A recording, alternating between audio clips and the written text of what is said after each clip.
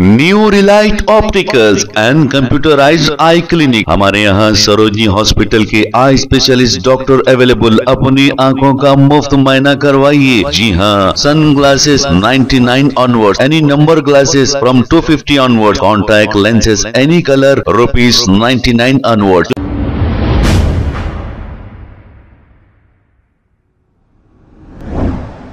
वालेकुम नाजरीन seven H news सच को रखे।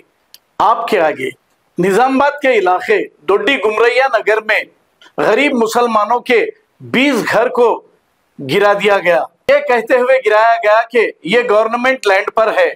जब मकानात बन रहे थे तो क्या गवर्नमेंट सो गई थी? इन गरीबों ने अपनी मेहनत की कमाई एक एक रुपया जमा करके इन घरों को तामीर किया और पल भर में कांग्रेस की हुकूमत ने इसे तोड़ दिया। बगैर कोई नोटिस दिए। क्या पिछली हुकूमत बीआरएस को यह दिखाई नहीं दिया कि ये गवर्नमेंट लैंड पर मकानात बन रहे हैं?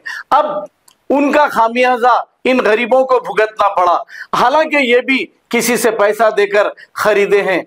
क्यों नहीं बेचने वालों को पकड़ के इन पर कानूनी कार्रवाई की जाती? निजामाबाद शहर के इलाके से एक शख्स जिसका नाम रियाज मलिक बताया जा रहा है। इन्होंने A I M I M floor leader Akbaruddin Owaisi को कॉल किया और तफसीलात बताई और ये कहा कि यहाँ पर गरीबों के घर तोड़ दिए गए हैं। इस पर अकबरुद्दीन अवेसी ने यह कहा, कांग्रेस ने तोड़ा है? हाँ कांग्रेस की जब हुकूमत है तो कांग्रेस ही तोड़ेगी। अकबरुद्दीन अवेसी ने जवाब दिया, ठीक है, मैं देखूँगा। आइए सुनते हैं तफसीलात।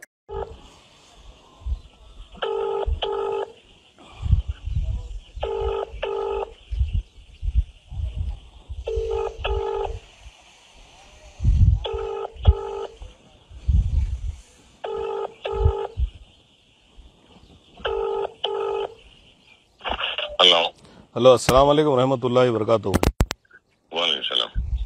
जी मैं शहर निज़ामाबाद से रियाज मलिक बोल रहा हूँ। जनाब हबीब मिल्लत साहब खैरियत से हैं साहब आप? जी अलहमदुल्ला खैरियत से। बोलिए क्या बोलना है? जी मसला ये है कि शहर निज़ामाबाद में एक इलाका है दुड्डी कुमरा नगर। आपके इल्म में होंगे साहब। हाँ। जी जी तो वहाँ पे जो सो तकरीबन एक 20 गरीब लोगों के मकानात को पूरा तहस नहस कर दिया साहब। क्यों? कौन करे? ये एम आर आरडीओ और जो सो पुलिस महकमा पुलिस और अपने मगर? किस वजह से? ये गवर्नमेंट लैंड पे ये लोग मकानात बना के बैठे हुए हैं बोल के। लगभग 20 साल से ये लोग मकानात बना के बैठे हुए हैं यहाँ पे। उन लोगों के आके जो सो क्या हाँ खरीदे हुए है। उसमें कुछ पट्टा लैंड भी है और कुछ गवर्नमेंट भी है। ये खरीदे सो भी है और यहाँ के एरिया कारपोरेटर बेचे बोल के भी यहाँ के लोग बता रहे हैं, उनके पास डॉक्यूमेंट्स भी है थोड़े से। और एक बात क्या है बोले तो ये मेन, ये लोग विदाउट इंटीमेशन विदाउट नोटिफिकेशन के ये लोग आके ज़बरदस्ती जो है सो घरों में से इन लोगों को निकाल के ये कर दिए।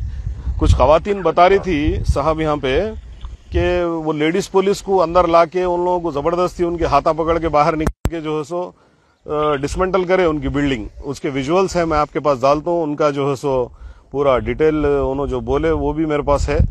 मैं इनशाला आपको भिजाऊँगा।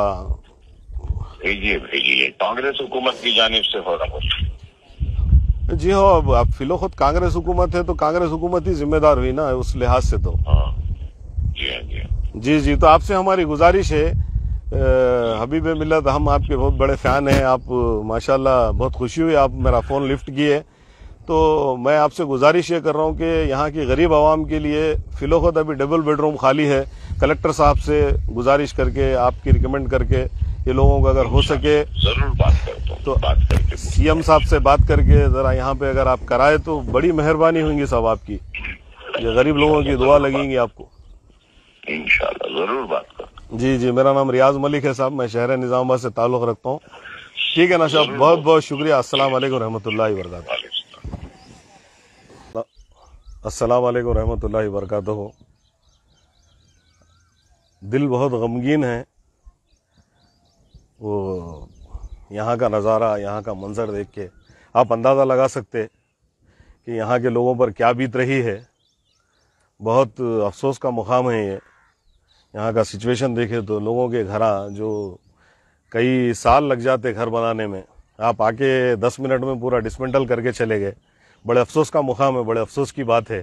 बेचारे गरीब लोग आ, कुछ बाजियाबी इनको करना चाहिए था बिफोर नोटिस देना चाहिए था। इनके पास डॉक्यूमेंट्स है रजिस्ट्रेशन डॉक्यूमेंट्स है पूरे इसमें डिटेल्स है इसका सर्वे नंबर है टैक्स है सारे चीज़ें हैं। इसके बावजूद भी ये मकान तकरीबन खाला बता रहे अट्ठारह लाख रुपए लगा के ये मकान बनाए थे इन्होंने। तेरह साल की मुद्दत में कंप्लीट करे ये मकान। तेरह साल तेरह साल तक रुपया रुपया जोड़ के ये खाला इनके दो बेट दो बच्चे दो बच्चों का इंतकाल होगा। दो बच्चों का मटर हो गया। इंतकाल हो गया इंतकाल हो गया तो इनकी बेवा बेवा भवा जो है सो घरों में काम करके इन्हों भी घरों में काम करके जो है सो ये प्लाट खरीदे किसी साहब के पास से खरीद के जो है सो इसके ऊपर मकान बनाए इन्हों। तेरह साल की मुद्दत तेरह साल तक मेहनत करते थे थोड़ा थोड़ा थोड़ा थोड़ा करके ये लोग जो है सो घर बनाए। इनका घर आके दस मिनट आधे घंटे एक घंटे में जो है सो पूरा डिसमेंटल करके चले गए। बहुत बड़े अफसोस की मुकाम है अफसोस का मुकाम है बहुत बुरी बात है। दो बच्चे हैं बच्ची को बच्ची शोहर नहीं है। ये बच्ची उनकी है अभी एक बच्चा मदरसा पढ़ता पंद्रह साल का है बच्चा। बावन साहब पहाड़ी में। वो भी दूसरे बड़े लोग बनते उनकी फ़ीस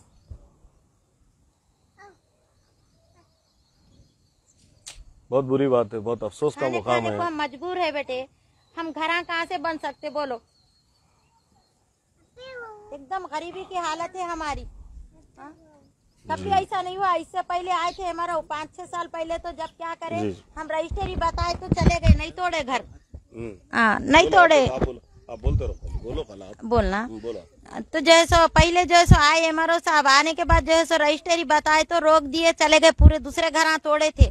उधर साइड इधर साइड। मगर हमारा घर नहीं चाहिए थे। अब के वो दूसरे हौरे के एमआरओ साहब बदल गए वो एमआरओ नहीं आए दूसरे एमआरओ साहब आए। उन्होंने बोल रहे नहीं तोड़ो सो तोड़ो बोल के हमें एक आधे घंटे का टाइम पूछे हमारे को नोटिस नहीं दिए हमारे को निकलो नहीं बोले।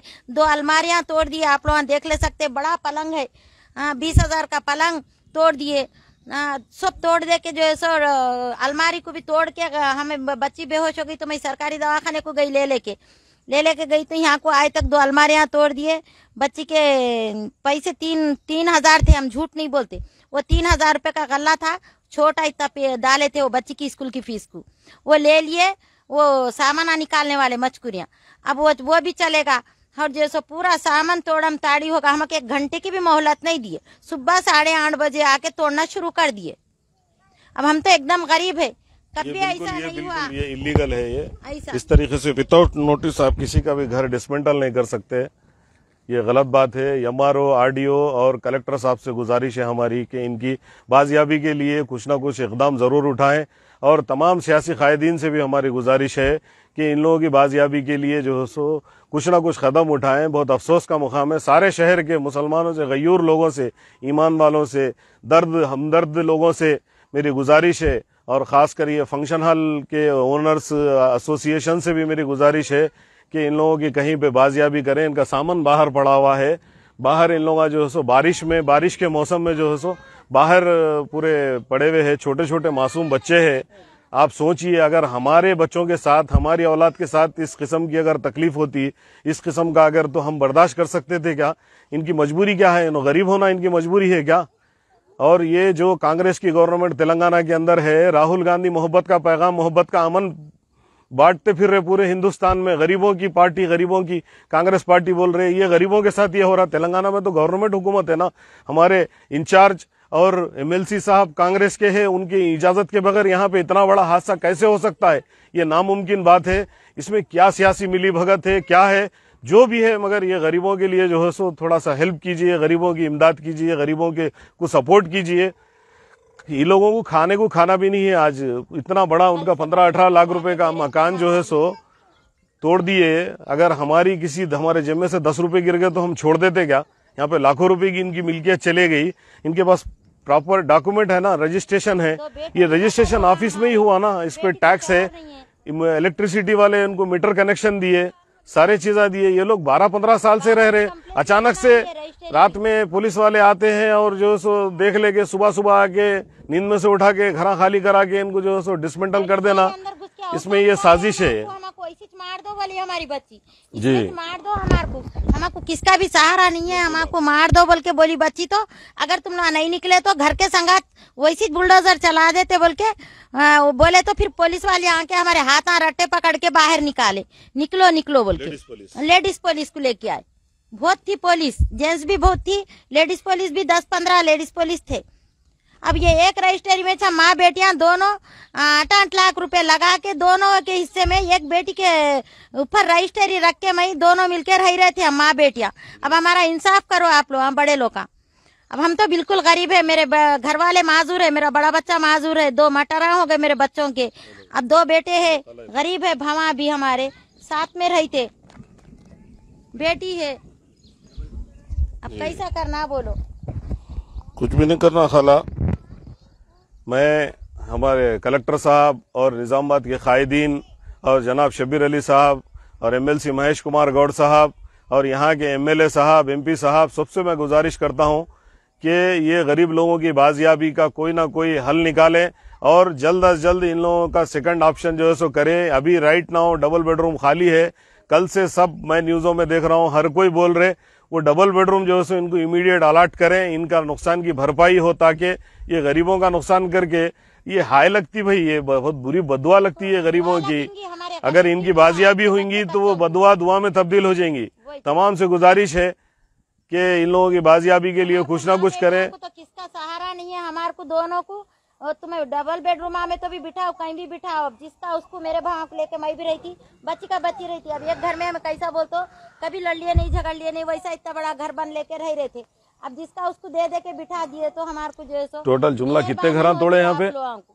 यहाँ के तीन तोड़े उधर तोड़े पूरे। उधर ज़्यादा टूटे अभी। वो क्या है बोलते new Relight opticals and computerize eye clinic हमारे यहाँ सरोजनी हॉस्पिटल के आई स्पेशलिस्ट डॉक्टर अवेलेबल अपनी आँखों का मुफ़्त मायना करवाइए। जी हाँ sun glasses 99 onward any number glasses from 250 onward contact lenses any colour rupees 99 onward जो हज़रत 60 साल की उम्र से ज़्यादा है, हज और उम्र जाना चाहते हैं, उनके लिए बिल्कुल free number glasses free home delivery और free eye checkup new Relight optical Talab Katta main road opposite to Baba Bahauddin Dargah mobile nine eight four eight three nine two one two seven खबर है शहर की खबर है गाँव की खबर है सारी दुनिया की। सेवन एच न्यूज़ पसंद आए तो लाइक कीजिए शेयर कीजिए। और सब्सक्राइब करना ना भूले। Seven H news